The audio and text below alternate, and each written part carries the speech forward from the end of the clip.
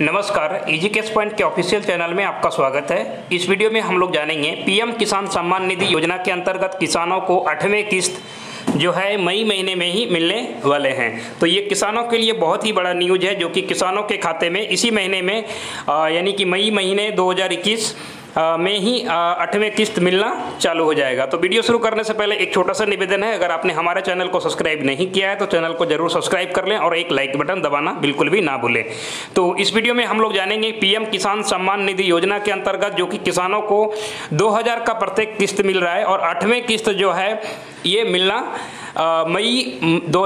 हज़ार इक्कीस से चालू हो जाएगा। तो मई में कौन सा डेट को मिलेगा, वो मैं बता देता हूँ, जो कि यहाँ पे आपको एक दिखा रहा हूँ। नोटिस जो कि यहाँ पे आप देख पा रहे हैं, यहाँ पे बिल्कुल दिया हुआ है माननीय प्रधानमंत्री श्री नरेंद्र मोदी 14 मई 2021 को दिन 11 बजे किसानों के साथ बातचीत करेंगे और पीएम किसान योजना के बारे में। और यहाँ पे दिया हुआ है कि 14 मई 2021 को जो है किसानों से बातचीत करेंगे और वो किस्त जो है